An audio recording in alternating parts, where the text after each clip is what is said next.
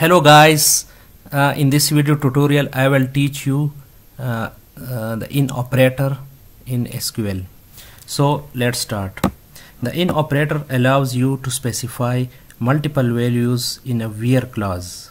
So the in operator is a shorthand for multiple or condition. So let's start. Uh, we have only one table which is uh, student.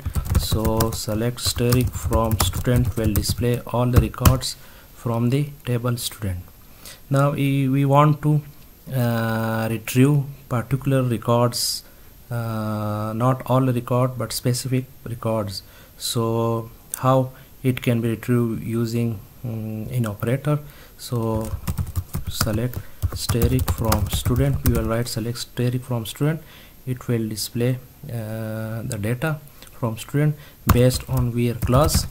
So inside where we will write where student id in uh, so the student id in uh, inside in uh, bracket we will write a specific uh, uh, student id number. So the student id 1 3 5 and 7 are uh, displayed. So apart from the select we can also use in operator along with the where clause uh, in deletion and delete query and in update uh, query. So let's check uh, its uses in uh, delete uh, query. So we want to delete particular record using in operator delete from student where student id in. So the records of the student id which are inside the bracket using in operator will be uh, all deleted. So we have mentioned the odd IDs 8 rows are deleted so let's check all the records using select steric from student. So you can see only the even uh, student IDs are remaining while the rest are uh, deleted. We roll back uh, the previous action. So select steric from student. Now all the records are displayed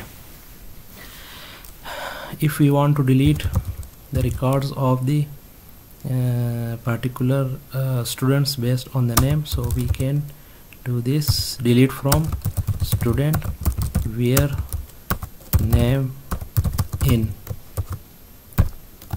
Ali Suleiman and Akbar.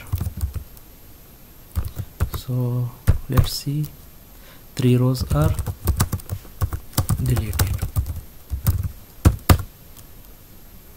So you can uh, use in operator along with the delete query.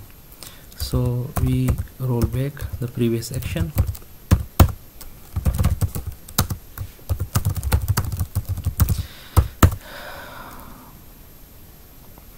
Now uh, we check the results of result of in operator uh, in update query.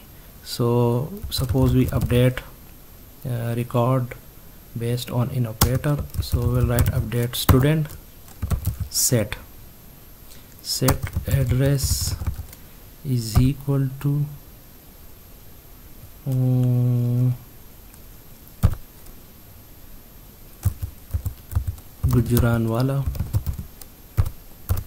where student id in.